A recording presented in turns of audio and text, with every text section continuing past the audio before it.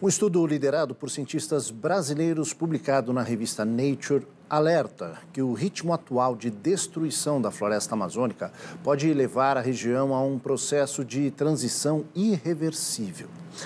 Desmatamento, aquecimento global e mudanças é, farão no regime de chuvas em diversas partes do mundo são algumas das consequências da destruição sem controle da Amazônia.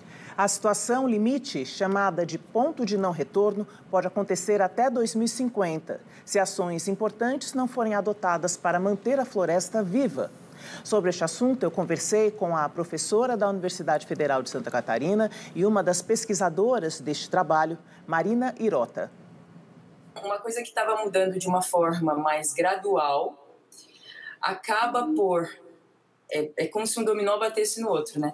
Então, quando você passa esse ponto de não retorno, o dominó bate de uma forma que não tem mais volta. Então você tem uma situação que mesmo que você tenha ações que antes você poderia ter evitado aquele ponto de não retorno, você não consegue mais com as mesmas ações frear qualquer tipo de mudança que esteja acontecendo. Então é como se estivesse fora das nossas mãos e aquilo continua e se propaga no tempo e no espaço e a gente não consegue mais controlar.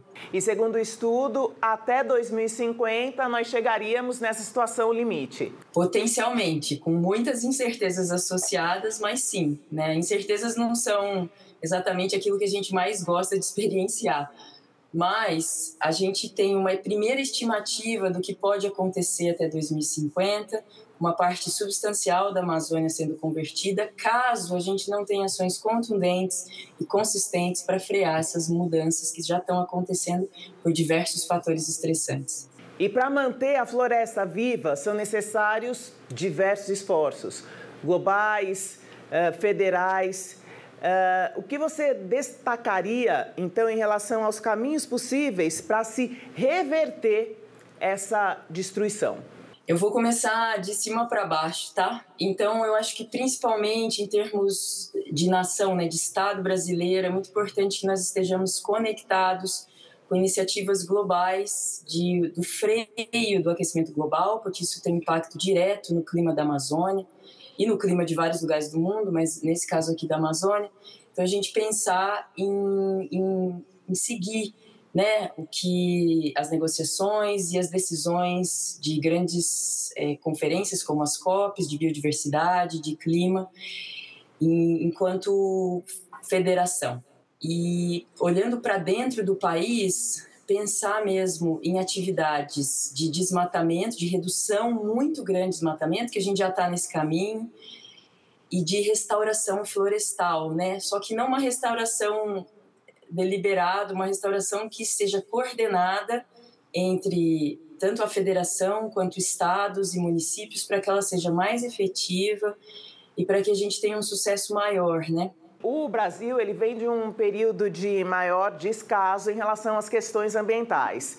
E você diria que hoje é, já é possível notar alguma mudança impactante em relação a essa preservação? Aí eu digo em ações federais, políticas públicas. Eu observo uma mudança, sim, né? Pelo menos a intenção de mudança. Eu vejo que já a gente está retornando com algumas ações como diminuição de desmatamento. Então, a gente já conseguiu levar isso para a COP das, da, COP do ano passado. Eu vejo que o governo acabou de lançar, né, recentemente, um pacote grande para financiar a restauração é, florestal. Então, acho que a gente tem um caminho, a gente está no caminho, a gente só precisa realmente ver como seguir o caminho para que isso seja efetivo. De que forma a floresta ainda responde ou ainda pode responder aos esforços para preservação e restauração? A gente observa que existem muitas áreas, por exemplo, em regeneração natural, que não necessariamente é uma restauração, vamos dizer, assistida, né? Então tem várias regiões na, na Amazônia que já, que quando abandonadas, depois de alguma mudança, algum corte de floresta, elas regeneram naturalmente.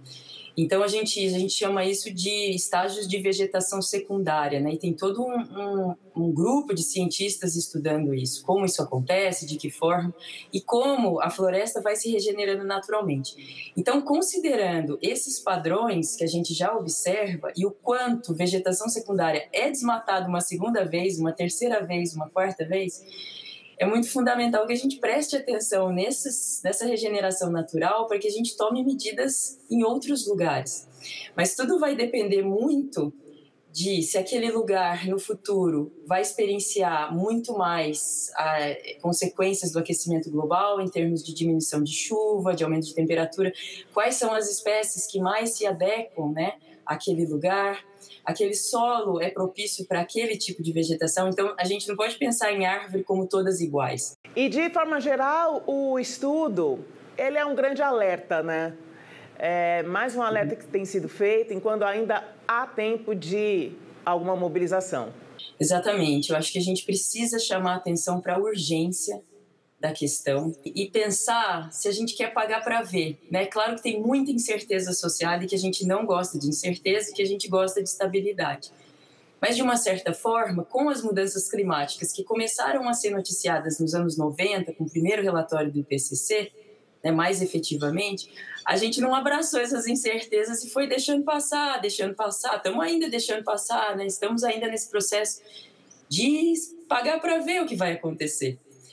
E eu acho que esse ano de 2023 também é um alerta, assim como esse estudo, porque acelerou a mudança de um jeito que a gente não podia prever antes.